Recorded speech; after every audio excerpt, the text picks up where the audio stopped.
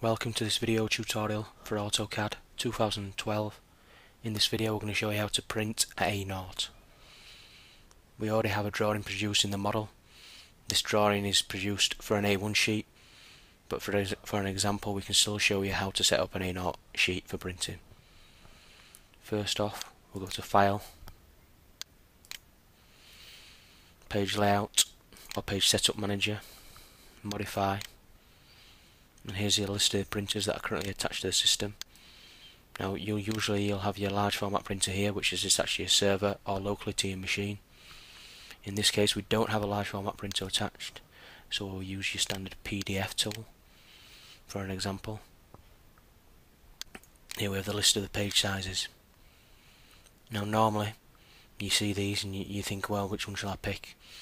I advise to pick the ISO A0 this is the standard A0 size and with a less bleed as well. Bleed being the margins left around the edge of your print. So this is the main one I'd go for in all cases. ISO A0. Here you have display, extents, layout and window. Extents is these hidden lines you see here, that's your extent.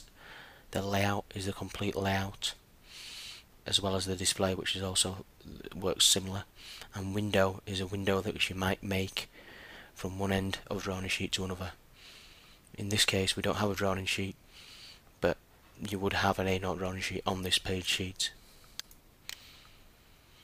We'll have that center for now and one to one so it's to scale. So you say okay to that. Close. Now I've already created a viewport layer this layer won't print and you'll be able to see now we can create a view for our model. New viewport and now say if you did have a drawing sheet you would have picked these points within the drawing sheet. In this case we don't. So we'll just go from one end to the other. There we have a drawing there. Now the page layout is going to be set up at one to one so we need to zoom this drawing to scale. We do that by double clicking in the viewport as you can see you can zoom in and out. You do Z spacebar. And then you tell AutoCAD how, how to zoom or what to zoom the scale to. This drawing is set at 1 to 200 XP spacebar. And there you have the drawing set out at 1 to 1 like I mentioned earlier this is a drawing that was set up for an A1 sheet but I'll use this for an example. So usually this full drawing would cover the full sheet but in this case it won't because it's an A0 page. So now we go to file plot. Now as you can see we zoom this drawing to scale at 1 to 200 so this needs to be set at 1 to 1 this is set to center and we're using the extents. You have a plot style here. This is a standard AutoCAD plot style but you might have your own plot style which you use if you preview this now,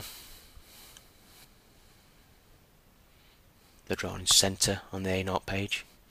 Here you'll have your drawing sheet if you did have one inserted into the uh, into the page. If you press escape, you can plot that by pressing OK. I always advise you preview before you print to make sure you're not missing anything or any layers are frozen. As I mentioned earlier, you can use window so if we change this now to window, and if you imagine this is your drawing sheet, you pick one end of your sheet there to the other end, and you make sure it's still centered, so it's centered on your page, and it works the same. You have a small preview there, you can preview it again, and it's exactly the same at one to one. Or you can use the layout tab, which works the same as well and then all you need to do is press OK to plot your A0 print